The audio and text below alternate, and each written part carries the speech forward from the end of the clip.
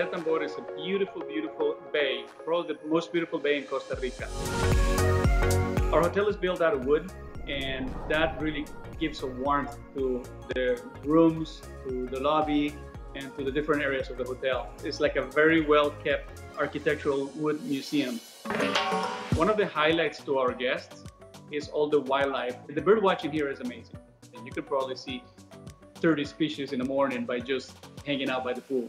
Also in the hotel's property, there is a turtle hatchery. And once they hatch, then also our guests can be part of uh, the release of the baby turtles. So um, since the project started uh, three years ago, uh, we have released over 20,000 baby turtles to the ocean. Another great activity to do while you're in Tambor Bay is do the bioluminescence tour. Bioluminescence is a phenomenon created by algae and interaction between fresh water from the rivers and the salty water from the ocean.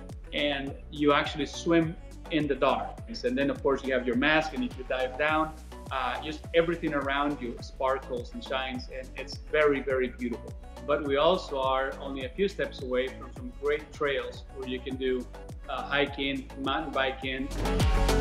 And there's also one of the favorite activities, which is also do nothing at all. It really is a wonderful place that I, I wish you could come and, and see.